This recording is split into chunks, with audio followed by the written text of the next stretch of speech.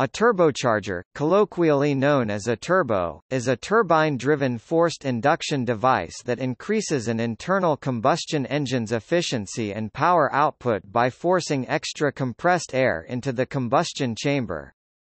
This improvement over a naturally aspirated engine's power output is due to the fact that the compressor can force more air and proportionately more fuel into the combustion chamber than atmospheric pressure and for that matter, ram air intakes alone. Turbochargers were originally known as turbosuperchargers when all forced induction devices were classified as superchargers. Today the term supercharger is typically applied only to mechanically driven forced induction devices. The key difference between a turbocharger and a conventional supercharger is that a supercharger is mechanically driven by the engine, often through a belt connected to the crankshaft, whereas a turbocharger is powered by a turbine driven by the engine's exhaust gas. Compared with a mechanically driven supercharger, turbochargers tend to be more efficient, but less responsive. Twincharger refers to an engine with both a supercharger and a turbocharger. Turbochargers are commonly used on truck, car, train, aircraft, and construction equipment engines. They are most often used with Otto cycle and diesel cycle internal combustion engines.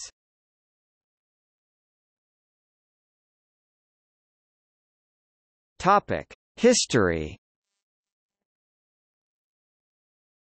Forced induction dates from the late 19th century, when Gottlieb Daimler patented the technique of using a gear-driven pump to force air into an internal combustion engine in 1885.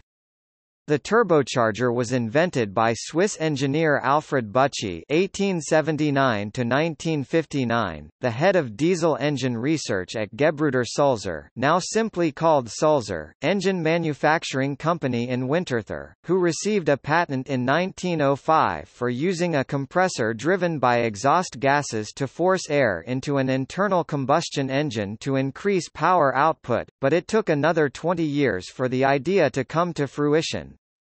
The first use of turbocharging technology based on his design was for large marine engines, when the German Ministry of Transport commissioned the construction of the Preußen and Hansestadt Danzig passenger liners in 1923. Both ships featured twin 10-cylinder diesel engines with output boosted from 1750 to 2,500 horsepower by turbochargers designed by Büchi and built under his supervision by Brown Boveri BBC now AB. During World War I French engineer Auguste Rateau fitted turbochargers to Renault engines powering various French fighters with some success.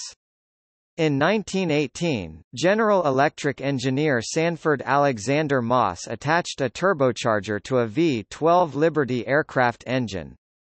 The engine was tested at Pikes Peak in Colorado at 14,000 feet 4,300 meters to demonstrate that it could eliminate the power loss usually experienced in internal combustion engines as a result of reduced air pressure and density at high altitude. Turbochargers were first used in production aircraft engines such as the Napier Lioness in the 1920s, although they were less common than engine-driven centrifugal superchargers.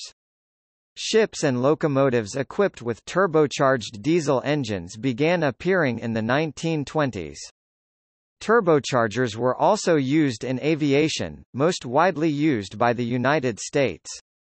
During World War II, notable examples of U.S. aircraft with turbochargers which included mass-produced ones designed by General Electric for American aviation use, include the B-17 Flying Fortress, B-24 Liberator, P-38 Lightning, and P-47 Thunderbolt.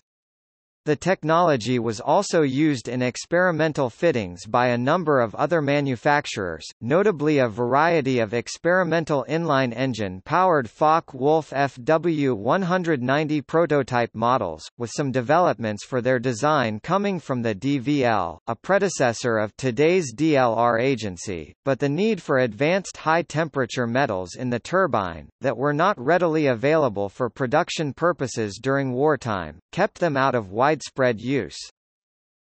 Turbochargers are widely used in car and commercial vehicles because they allow smaller capacity engines to have improved fuel economy, reduced emissions, higher power and considerably higher torque.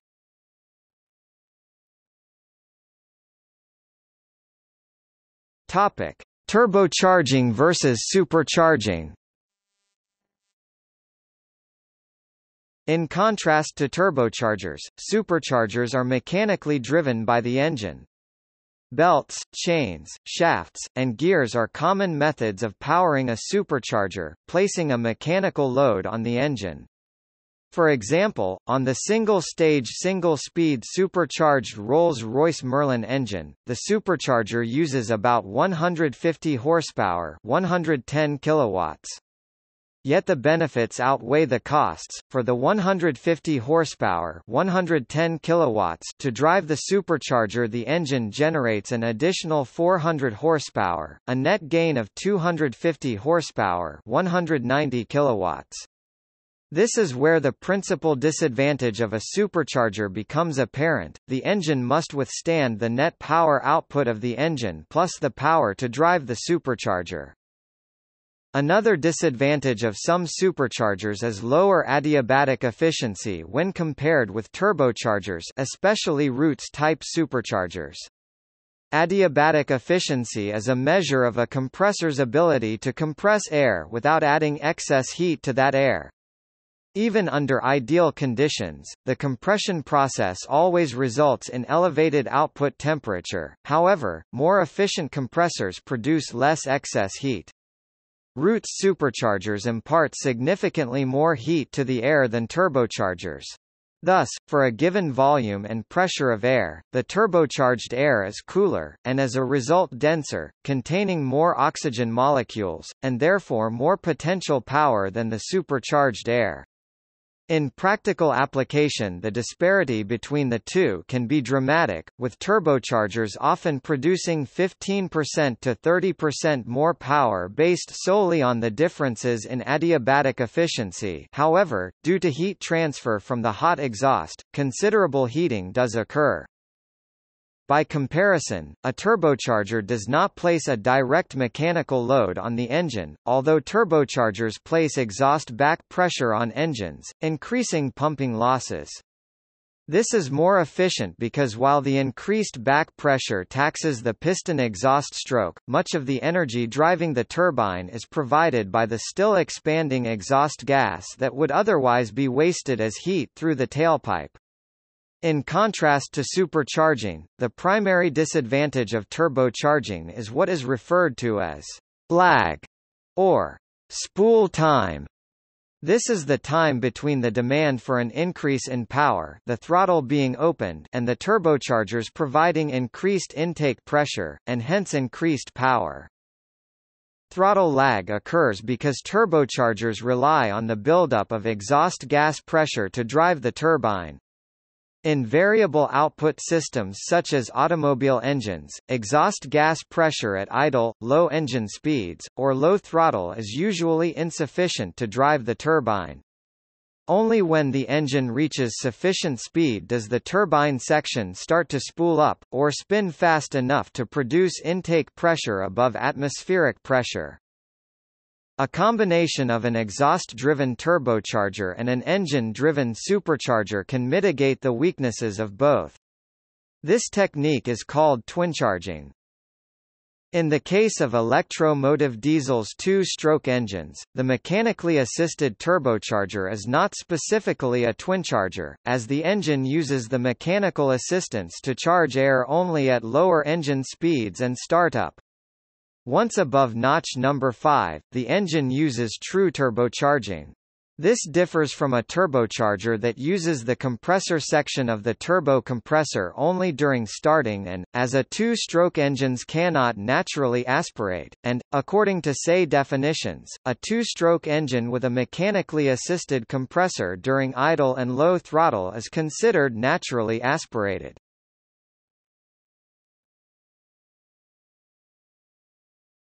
Topic. Operating principle In naturally aspirated piston engines, intake gases are drawn or pushed into the engine by atmospheric pressure filling the volumetric void caused by the downward stroke of the piston which creates a low-pressure area, similar to drawing liquid using a syringe.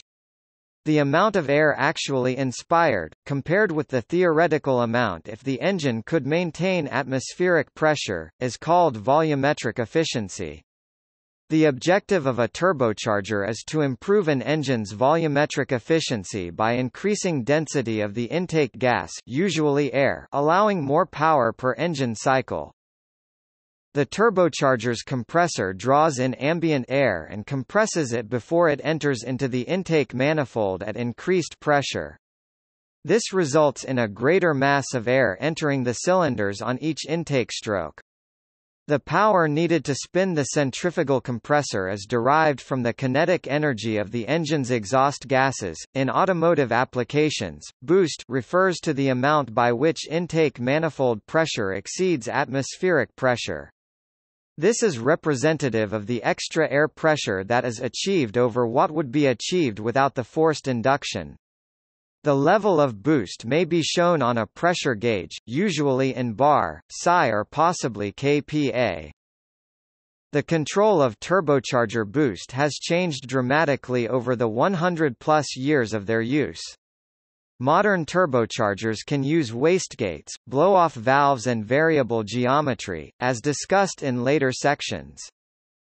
In petrol engine turbocharger applications, boost pressure is limited to keep the entire engine system, including the turbocharger, inside its thermal and mechanical design operating range.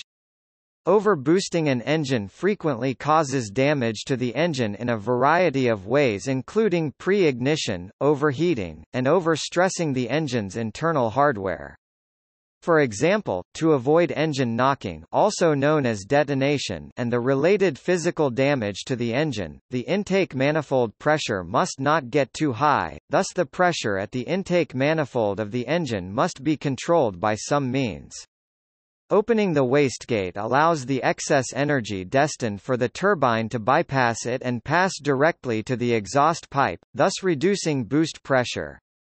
The wastegate can be either controlled manually frequently seen in aircraft or by an actuator in automotive applications, it is often controlled by the engine control unit.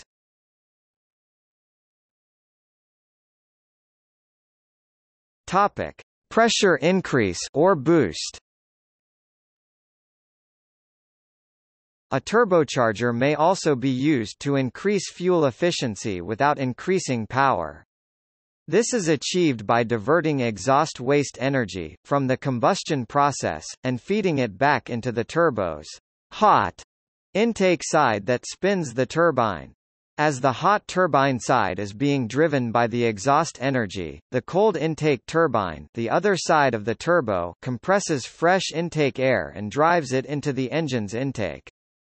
By using this otherwise wasted energy to increase the mass of air, it becomes easier to ensure that all fuel is burned before being vented at the start of the exhaust stage. The increased temperature from the higher pressure gives a higher Carnot efficiency.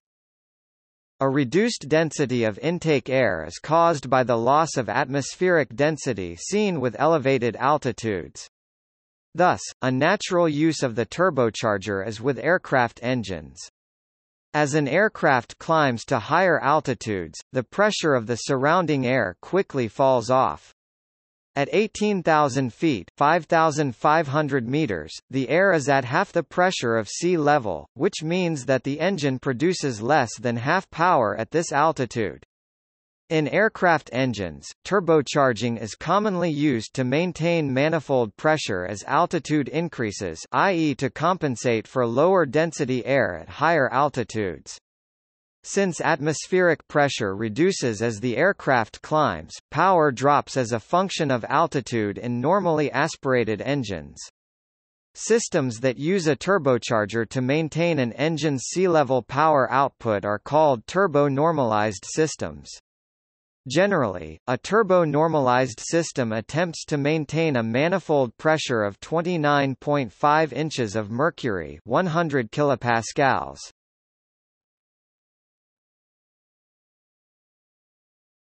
Topic: Turbocharger lag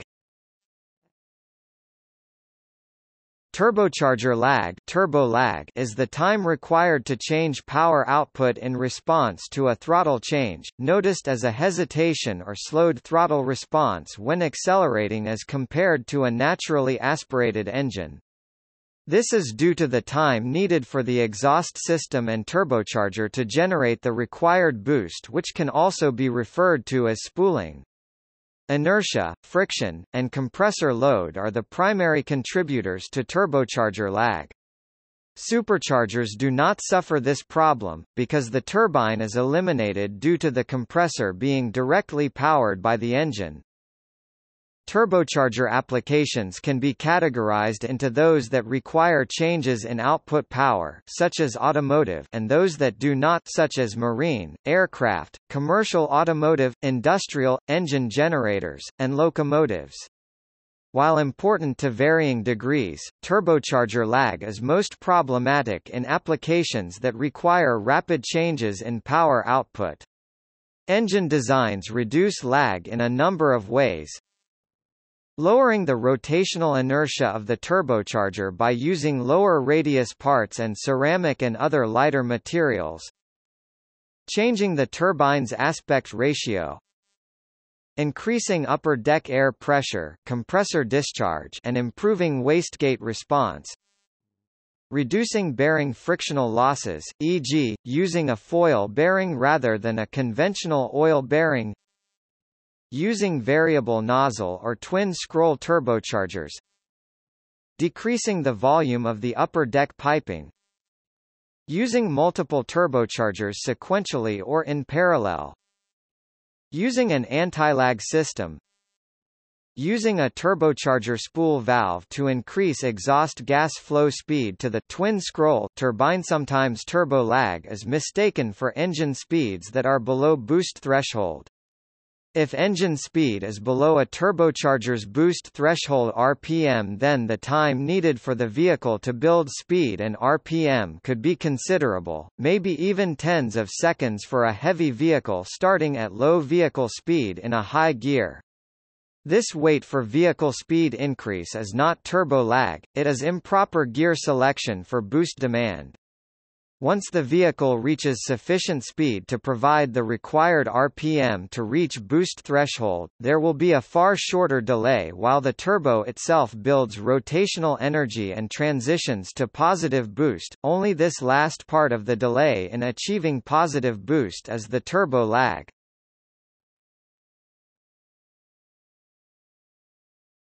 Topic: Boost threshold. The boost threshold of a turbocharger system is the lower bound of the region within which the compressor operates. Below a certain rate of flow, a compressor produces insignificant boost. This limits boost at a particular RPM, regardless of exhaust gas pressure.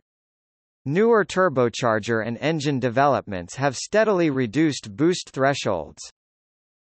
Electrical boosting e-boosting is a new technology under development. It uses an electric motor to bring the turbocharger up to operating speed quicker than possible using available exhaust gases. An alternative to e-boosting is to completely separate the turbine and compressor into a turbine generator and electric compressor as in the hybrid turbocharger. This makes compressor speed independent of turbine speed. In 1981, a similar system that used a hydraulic drive system and overspeed clutch arrangement accelerated the turbocharger of the MV Canadian Pioneer Doxford 76J4CR engine. Turbochargers start producing boost only when a certain amount of kinetic energy is present in the exhaust gases. Without adequate exhaust gas flow to spin the turbine blades, the turbocharger cannot produce the necessary force needed to compress the air going into the engine.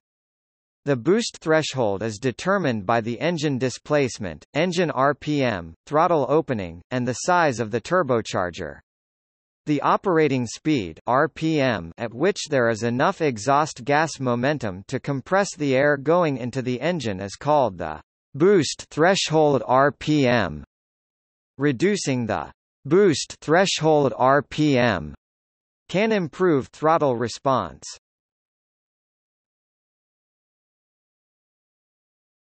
Topic: Key components. The turbocharger has three main components the turbine, which is almost always a radial inflow turbine but is almost always a single-stage axial inflow turbine in large diesel engines. The compressor, which is almost always a centrifugal compressor. The center housing, hub rotating assembly many turbocharger installations use additional technologies, such as wastegates, intercooling and blow-off valves.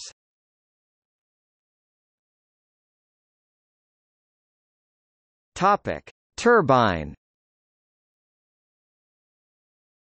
Energy provided for the turbine work is converted from the enthalpy and kinetic energy of the gas.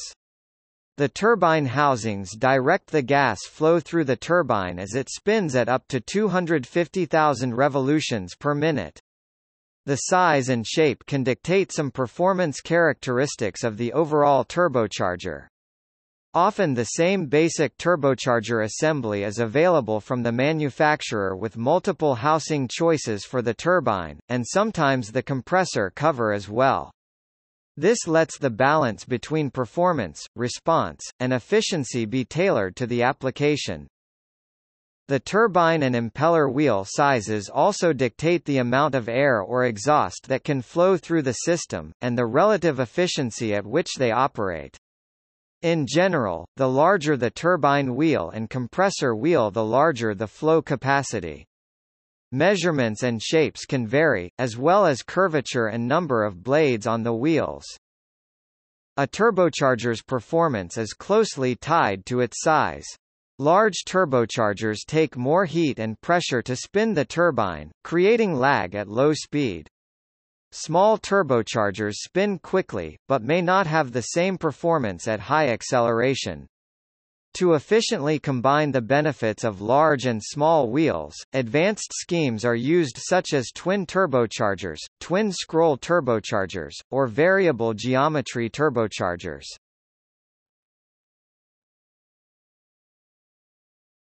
Topic: Twin turbo Twin-turbo or bi-turbo designs have two separate turbochargers operating in either a sequence or in parallel. In a parallel configuration, both turbochargers are fed one half of the engine's exhaust. In a sequential setup one turbocharger runs at low speeds and the second turns on at a predetermined engine speed or load. Sequential turbochargers further reduce turbo lag, but require an intricate set of pipes to properly feed both turbochargers. Two-stage variable twin turbos employ a small turbocharger at low speeds and a large one at higher speeds. They are connected in a series so that boost pressure from one turbocharger is multiplied by another, hence the name, two-stage. The distribution of exhaust gas is continuously variable, so the transition from using the small turbocharger to the large one can be done incrementally. Twin turbochargers are primarily used in diesel engines. For example, in Opel bi-turbo diesel, only the smaller turbocharger works at low speed, providing high torque at 1,500 to 1,700 revolutions per minute. Both turbochargers operate together in mid-range, with the larger one pre-compressing the air, which the smaller one further compresses. A bypass valve regulates the exhaust flow to each turbocharger. At higher speed 2500 to 3000 rpm only the larger turbocharger runs, smaller turbochargers have less turbo lag than larger ones, so often two small turbochargers are used instead of one large one. This configuration is popular in engines over 2500 cc's and in V-shape or boxer engines.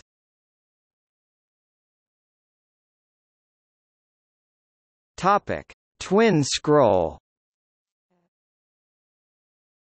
Twin scroll or divided turbochargers have two exhaust gas inlets and two nozzles, a smaller sharper angled one for quick response and a larger less angled one for peak performance. With high-performance camshaft timing, exhaust valves in different cylinders can be open at the same time, overlapping at the end of the power stroke in one cylinder and the end of exhaust stroke in another. In twin-scroll designs, the exhaust manifold physically separates the channels for cylinders that can interfere with each other, so that the pulsating exhaust gases flow through separate spirals scrolls. With common firing order 1 3 4 2, two scrolls of unequal length pair cylinders 1 and 4, and 3 and 2. This lets the engine efficiently use exhaust scavenging techniques, which decreases exhaust gas temperatures and NOx emissions, improves turbine efficiency, and reduces turbo lag evident at low engine speeds.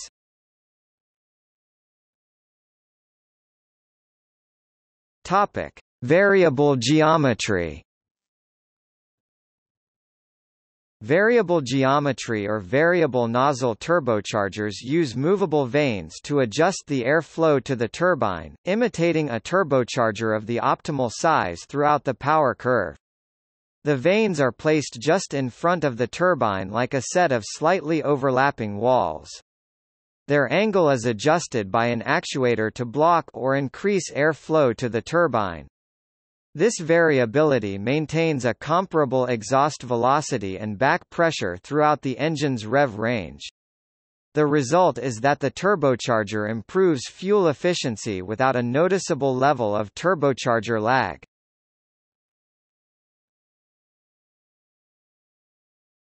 Topic: Compressor The compressor increases the mass of intake air entering the combustion chamber. The compressor is made up of an impeller, a diffuser and a volute housing. The operating range of a compressor is described by the compressor map. Ported shroud the flow range of a turbocharger compressor can be increased by allowing air to bleed from a ring of holes or a circular groove around the compressor at a point slightly downstream of the compressor inlet but far nearer to the inlet than to the outlet. The ported shroud is a performance enhancement that allows the compressor to operate at significantly lower flows. It achieves this by forcing a simulation of impeller stall to occur continuously. Allowing some air to escape at this location inhibits the onset of surge and widens the operating range. While peak efficiencies may decrease, high efficiency may be achieved over a greater range of engine speeds. Increases in compressor efficiency result in slightly cooler more dense intake air, which improves power. This is a passive structure that is constantly open in contrast to compressor exhaust blow-off valves, which are mechanically or electronically controlled. The ability of the compressor to provide high boost at low RPM may also be increased marginally because near choke conditions the compressor draws air inward through the bleed path. Ported shrouds are used by many turbocharger manufacturers.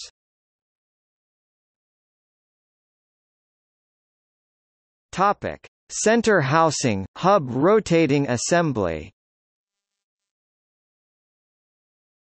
The center hub rotating assembly (CHRA) houses the shaft that connects the compressor impeller and turbine. It also must contain a bearing system to suspend the shaft, allowing it to rotate at very high speed with minimal friction. For instance, in automotive applications the CHRA typically uses a thrust bearing or ball bearing lubricated by a constant supply of pressurized engine oil. The CHRA may also be considered water-cooled by having an entry and exit point for engine coolant. Water-cooled models use engine coolant to keep lubricating oil cooler, avoiding possible oil coking destructive distillation of engine oil from the extreme heat in the turbine. The development of airfoil bearings removed this risk. Ball bearings designed to support high speeds and temperatures are sometimes used instead of fluid bearings to support the turbine shaft. This helps the turbocharger accelerate more quickly and reduces turbo lag. Some variable nozzle turbochargers use a rotary electric actuator, which uses a direct stepper motor to open and close the vanes, rather than pneumatic controllers that operate based on air pressure.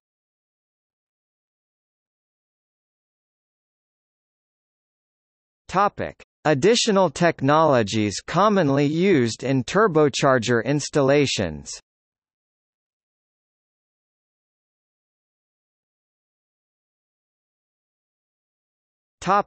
Intercooling. When the pressure of the engine's intake air is increased, its temperature also increases. This occurrence can be explained through Gay-Lussac's law, stating that the pressure of a given amount of gas held at constant volume is directly proportional to the Kelvin temperature. With more pressure being added to the engine through the turbocharger, overall temperatures of the engine will also rise. In addition, heat soak from the hot exhaust gases spinning the turbine will also heat the intake air. The warmer the intake air, the less dense, and the less oxygen available for the combustion event, which reduces volumetric efficiency. Not only does excessive intake air temperature reduce efficiency, it also leads to engine knock, or detonation, which is destructive to engines. To compensate for the increase in temperature, turbocharger units often make use of an intercooler between successive stages of boost to cool down the intake air. A charge air cooler is an air cooler between the boost stages and the appliance that consumes the boosted air.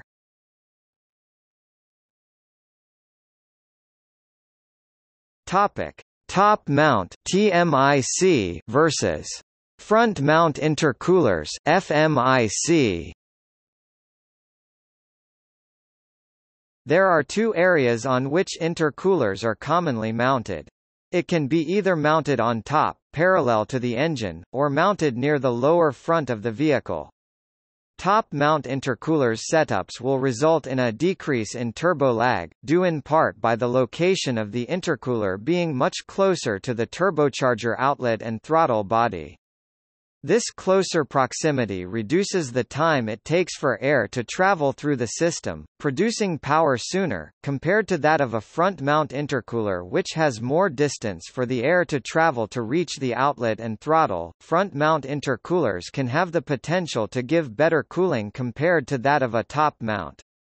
The area in which a top-mounted intercooler is located, is near one of the hottest areas of a car, right above the engine, this is why most manufacturers include large hood scoops to help feed air to the intercooler while the car is moving, but while idle, the hood scoop provides little to no benefit. Even while moving, when the atmospheric temperatures begin to rise, top-mount intercoolers tend to underperform compared to front-mount intercoolers. With more distance to travel, the air circulated through a front-mount intercooler may have more time to cool,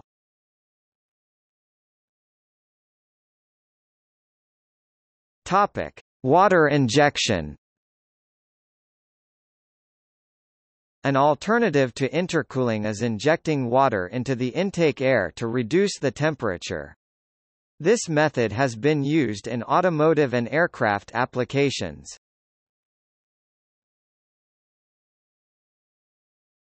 Topic: Methanol injection.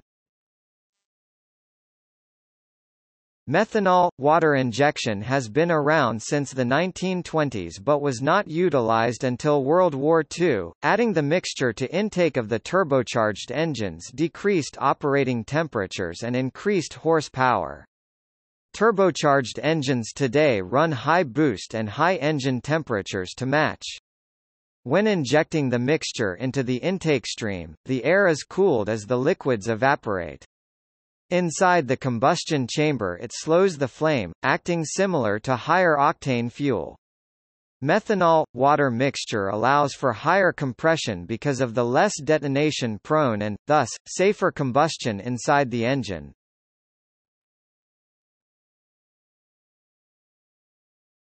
Topic: Fuel-air mixture ratio. In addition to the use of intercoolers, it is common practice to add extra fuel to the intake air known as running an engine rich for the sole purpose of cooling.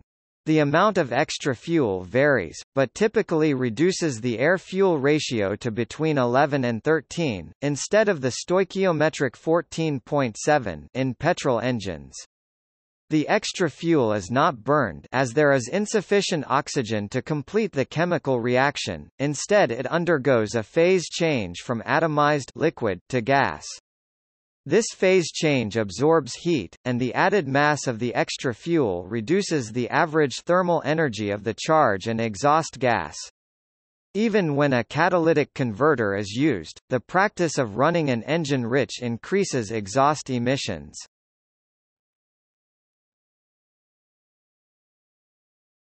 Topic: Wastegate. A wastegate regulates the exhaust gas flow that enters the exhaust side driving turbine and therefore the air intake into the manifold and the degree of boosting. It can be controlled by a boost pressure assisted, generally vacuum hose attachment point diaphragm for vacuum and positive pressure to return commonly oil contaminated waste to the emission system to force the spring-loaded diaphragm to stay closed until the overboost point is sensed by the ECU or a solenoid operated by the engine's electronic control unit or a boost controller, but most production vehicles use a single vacuum hose attachment point spring-loaded diaphragm that can alone be pushed open, thus limiting overboost ability due to exhaust gas pressure forcing open the wastegate.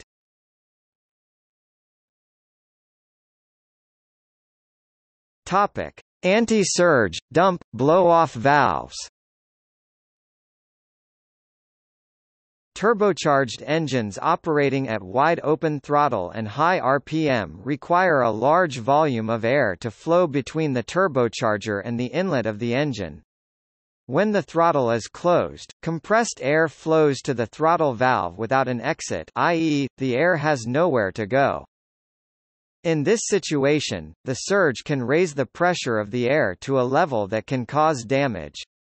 This is because if the pressure rises high enough, a compressor stall occurs. Stored pressurized air decompresses backward across the impeller and out the inlet.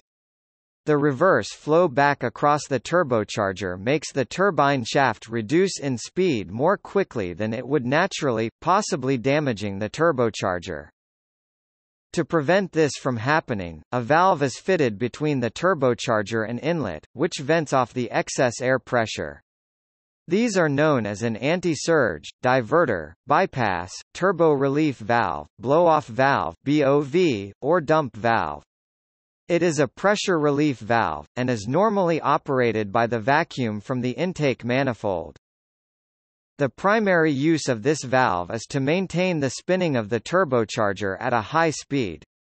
The air is usually recycled back into the turbocharger inlet, diverter or bypass valves, but can also be vented to the atmosphere blow-off valve.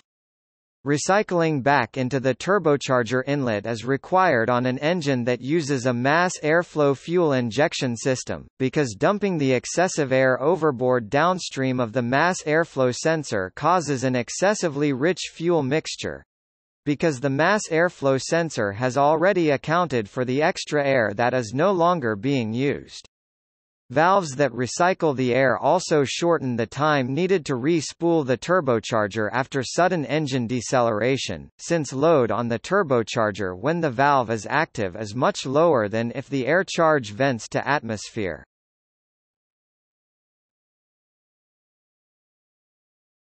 Topic: Free floating. A free-floating turbocharger is the simplest type of turbocharger. This configuration has no wastegate and cannot control its own boost levels. They are typically designed to attain maximum boost at full throttle. Free-floating turbochargers produce more horsepower because they have less backpressure, but are not drivable in performance applications without an external wastegate.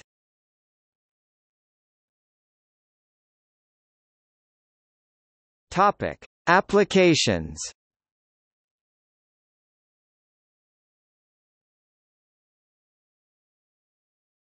Topic: Petrol-powered cars.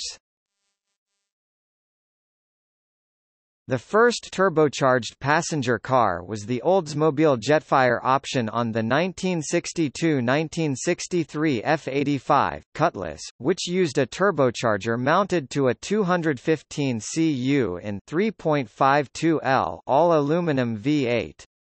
Also in 1962, Chevrolet introduced a special run of turbocharged Corvairs, initially called the Monza Spider 1962 and later renamed the Corsa 1965–1966, which mounted a turbocharger to its air-cooled flat six-cylinder engine. This model popularized the turbocharger in North America, and set the stage for later turbocharged models from Porsche on the 1975 up 911 930s, Saab on the 1978 to 1984 Saab 99 Turbo, and the very popular 1978 to 1987 Buick Regal T-Type Grand National. Today, turbocharging is common on both diesel and gasoline-powered cars. Turbocharging can increase power output for a given capacity or increase fuel efficiency by allowing a smaller displacement engine. The engine of the year 2011 is an engine used in a Fiat 500 equipped with an MHI turbocharger. This engine lost 10% weight, saving up to 30% in fuel consumption while delivering the same HP 105 as a 1.4-liter engine.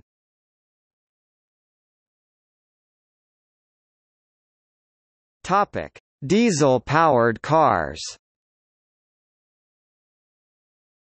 The first production turbocharger diesel passenger car was the Garrett turbocharged Mercedes 300 SD introduced in 1978. Today, most automotive diesels are turbocharged, since the use of turbocharging improved efficiency, drivability and performance of diesel engines, greatly increasing their popularity. The Audi R10 with a diesel engine even won the 24 Hours Race of Le Mans in 2006, 2007 and 2008.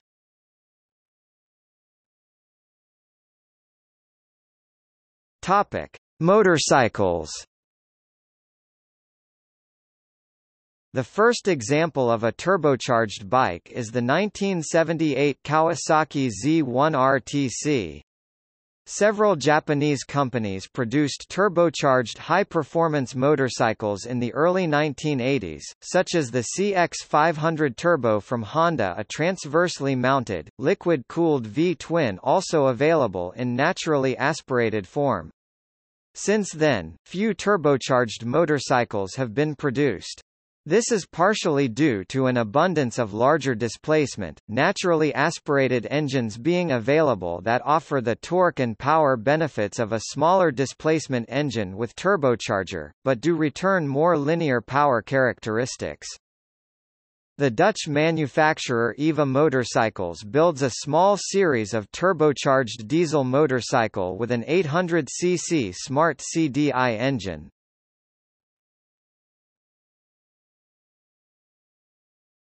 Topic: Trucks. The first turbocharged diesel truck was produced by Schweizer Maschinenfabrik Saurer, Swiss Machine Works Saurer in 1938.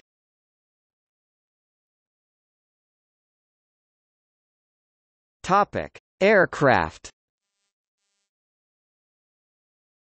A natural use of the turbocharger, and its earliest known use for any internal combustion engine, starting with experimental installations in the 1920s, is with aircraft engines.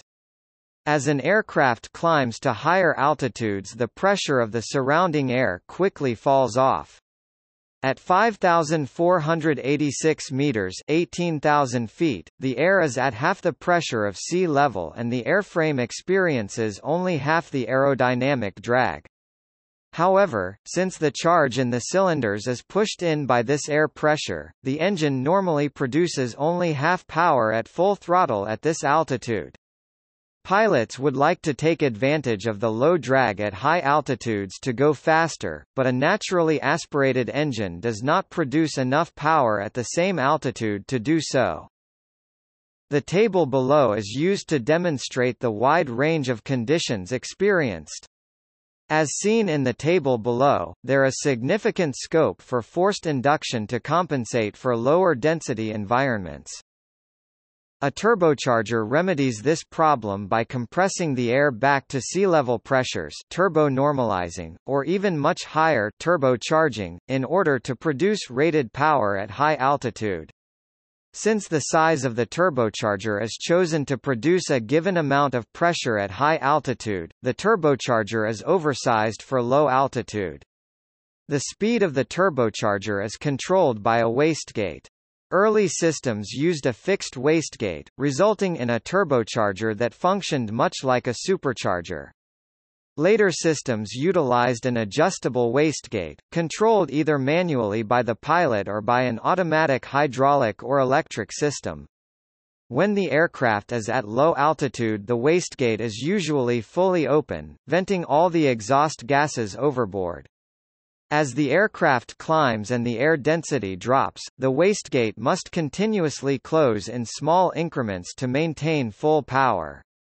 The altitude at which the wastegate fully closes and the engine still produces full power is the critical altitude.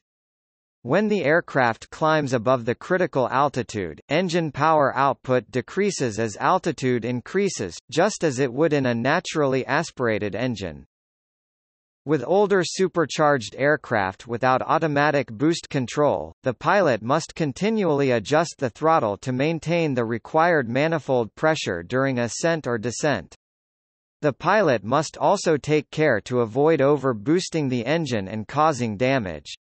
In contrast, modern turbocharger systems use an automatic wastegate, which controls the manifold pressure within parameters preset by the manufacturer.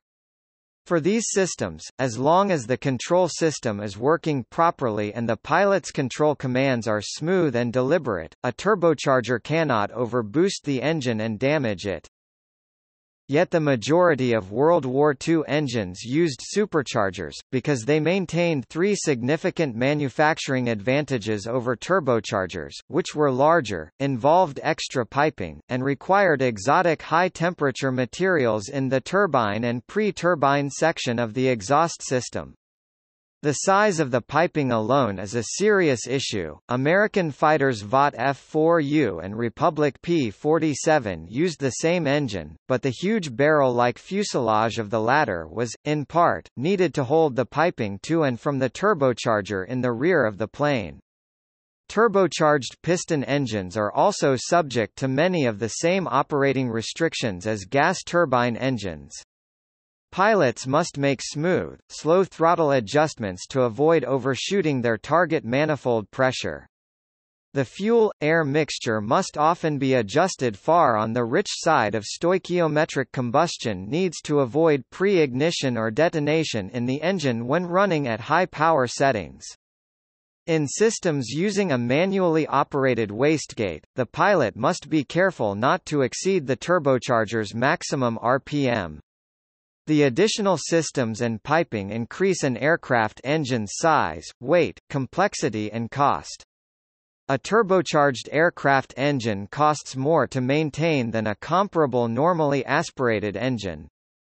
The great majority of World War II American heavy bombers used by the USAAF, particularly the Wright R-1820 Cyclone 9-powered B-17 Flying Fortress, and Pratt & Whitney R-1830 Twin Wasp-powered consolidated B-24 Liberator 4-engine bombers both used similar models of General Electric designed turbochargers in service, as did the twin Allison V-1710 engined Lockheed P-38 Lightning American heavy fighter during the war years. All of the above World War II aircraft engines had mechanically driven centrifugal superchargers as designed from the start, and the turbosuperchargers with intercoolers were added, effectively as twincharger systems, to achieve desired altitude performance. Today, most general aviation piston engine-powered aircraft are naturally aspirated. Modern aviation piston engines designed to run at high altitudes typically include a turbocharger either high pressure or turbonormalized rather than a supercharger. The change in thinking is largely due to economics. Aviation gasoline was once plentiful and cheap, favoring the simple, but fuel-hungry, supercharger. As the cost of fuel has increased, the supercharger has fallen out of favor. Turbocharged aircraft often occupy a performance range between that of normally aspirated piston-powered aircraft and turbine-powered aircraft. Despite the negative points, turbocharged aircraft fly higher for greater efficiency. High cruise flight also allows more time to evaluate issues before a forced landing must be made. As the turbocharged aircraft climbs, however, the pilot or automated system can close the wastegate, forcing more exhaust gas through the turbocharger turbine, thereby maintaining manifold pressure during the climb, at least until the critical pressure altitude is reached when the wastegate is fully closed, after which manifold pressure falls. With such systems, modern high-performance piston engine aircraft can cruise at altitudes up to 25,000 feet above which, RVSM certification would be required, where low air density results in lower drag and higher true airspeeds. This allows flying above the weather. In manually controlled wastegate systems, the pilot must take care not to overboost the engine, which causes detonation, leading to engine damage.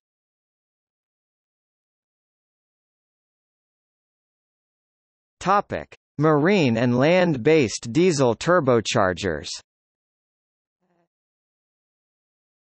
Turbocharging, which is common on diesel engines in automobiles, trucks, tractors, and boats is also common in heavy machinery such as locomotives, ships, and auxiliary power generation.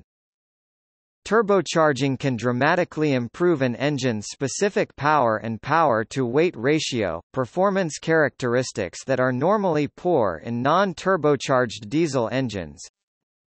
Diesel engines have no detonation because diesel fuel is injected at or towards the end of the compression stroke and is ignited solely by the heat of compression of the charge air. Because of this, diesel engines can use a much higher boost pressure than spark ignition engines, limited only by the engine's ability to withstand the additional heat and pressure. Turbochargers are also employed in certain two-stroke cycle diesel engines, which would normally require a Roots blower for aspiration, in this specific application, mainly electro-motive diesel EMD 567, 645, and 710 series engines, the turbocharger is initially driven by the engine's crankshaft through a gear train and an overrunning clutch, thereby providing aspiration for combustion. After combustion has been achieved, and after the exhaust gases have reached sufficient heat energy, the overrunning clutch is automatically disengaged, and the turbo compressor is thereafter driven exclusively by the exhaust gases.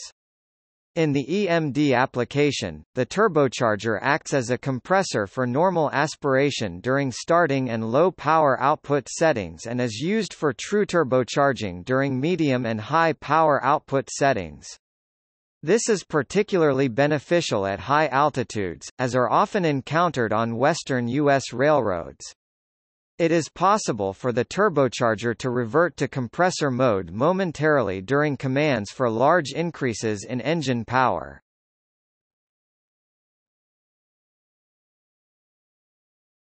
Topic: Business and adoption. Honeywell Turbo Technologies, Borg Warner and Mitsubishi Turbocharger are the largest manufacturers in Europe and the United States. Several factors are expected to contribute to more widespread consumer adoption of turbochargers, especially in the U.S. New government fuel economy and emissions targets. Increasing oil prices and a consumer focus on fuel efficiency. Only 10% of light vehicles sold in the United States are equipped with turbochargers, making the United States an emerging market, compared with 50% of vehicles in Europe that are turbocharged diesel and 27% that are gasoline-boosted. Higher temperature tolerances for gasoline engines, ball bearings in the turbine shaft and variable geometry have reduced drivability concerns. In 2014, 21% of vehicles sold in North America were turbocharged, which is expected to grow to 38% by 2019. In Europe 67% of all vehicles were turbocharged in 2014, which is expected to grow to 69% by 2019. Historically, more than 90% of turbochargers were diesel, however, adoption in gasoline engines is increasing. The U.S. Coalition for Advanced Diesel Cars is pushing for a technology neutral policy for government subsidies of environmentally friendly automotive technology. If successful, government subsidies would be based on the corporate average fuel economy CAFE standards rather than supporting specific technologies like electric cars. Political shifts could drastically change adoption projections. Turbocharger sales in the United States increased when the federal government boosted corporate average fuel economy targets to 35.5 mpg by 2016.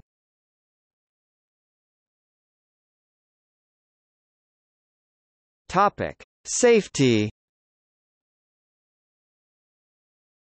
Turbocharger failures and resultant high exhaust temperatures are among the causes of car fires.